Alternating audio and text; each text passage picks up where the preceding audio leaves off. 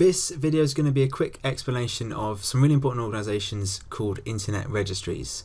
So these are usually non-profits, often associated with governments, and they control the allocation of internet numbers, primarily for our purposes. We're going to talk about it in terms of IP addresses and domain names.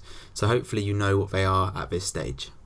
So internet numbers refers to IP addresses and domain names, despite them maybe not technically being numbers, but that's just the overarching term. Also other things like, or minor things like time zones, if we're to standardize the time zones, something called autonomous system numbers, AS numbers, and the codes that are used to refer to protocols. They have unique codes. So various things which are quite important and especially important to be standardized. So the main ones you would have maybe come across and I've mentioned in previous videos are these five.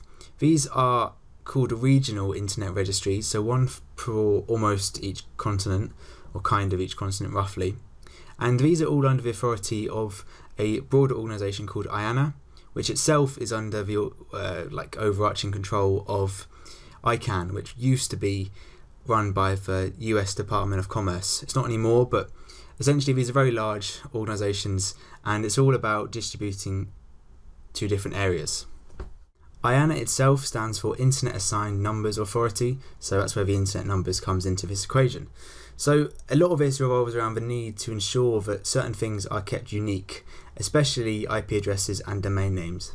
An IP address is meant to be linked to a single device, so if you type in an IP address, you'll be able to connect to that device. Same with domain names. You can't have two companies with the same domain name. It just it undermines the whole system. So it's important that these organizations keep things unique. And like so many things in the internet, this works in a hierarchical manner usually. So IANA have let's say IANA have all of the domain names and all of the IP addresses, and it's up to them to actually distribute it to people, but often via several registries. So first of all, IANA will give a set range of IP addresses to each regional registry and also a set range of domain names. So .com is meant to be an American one, um, and so on, and obviously the country codes as well. So then, once the regional authorities have this set range of internet numbers, they can then distribute it to people, but often via several smaller registries. That's where the hierarchical sense comes into it. Let's talk about it in terms of IP addresses. So each of them will have a set range of IP addresses, and it's important that they are tied to different areas of the world because an IP address is meant to locate a device geographically. So you can look at an IP address and go, okay, that belongs to North America because it was allocated by ARIN uh, and so on. So ARIN have a set range of IP addresses. They can give it to national internet registries, so one for US, one for Canada, in Europe, uh, different countries. So the UK will have one, and the regional registry will give a set subset of their pool to an individual country and a set domain name as well, so .uk, .es, .de for Germany. And so it's all about allocating a smaller set of this overall pool. Once the National Registry has that range, they can then give it to either people directly or via internet service providers. So Virgin Media will be assigned a set range of IP addresses, so will Sky, so will BT, and it's up to them to actually assign it to their customers. The main message from this slide is that these organisations are sort of nested within each other. So they're all internet registries technically, but some are larger than others. And it's all about ensuring that things are kept unique so that the IP addresses assigned to North America are different to the ones assigned to India. They've got to be different, otherwise, the routing will just completely break down.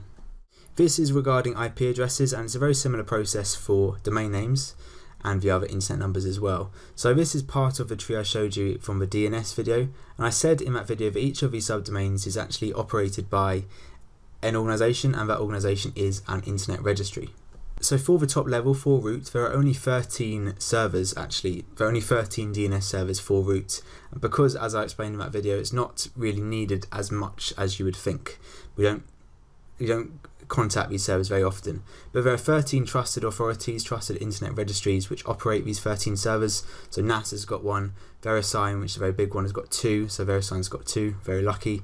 University of Maryland, Department of Defense, and eight others. So very large companies, um, usually non-profits or independent companies, which just are there to maintain the servers essentially. In terms of some of the top level domains, .com and .net are operated by VeriSign again. VeriSign are quite a big player in this field. They also are used a lot in, or use a lot for certificates and signatures. So this name crops up quite a lot. Uh, so they have DNS servers for these two, which are going to be used the most. Also, org is by a company called Your Public Interest Registry, and then Nominet is for the UK. And of course, you have second level domains, which are also going to be operated potentially by different registries. So lots of registries involved here, again in a hierarchical manner. And this means as we have another branch coming off to the second level domains, Nominet can choose who is going to operate .co or .gov. So they have the control over it essentially. So they're passing on the role to a smaller registry if they don't want to be in charge of it themselves. Finally, just because these registries operate the domain name servers for each of these subdomains doesn't mean they're actually selling the subdomains. So they might actually just give a set amount or sell a set amount to other domain name registries like GoDaddy, which doesn't actually operate any DNS servers as far as I know. They'll just buy a set amount of domain names from VeriSign or from Nominet and then pass it on to customers. So again, it's a lot about passing stuff on, but ensuring that they're kept consistent by being operated by a trusted company.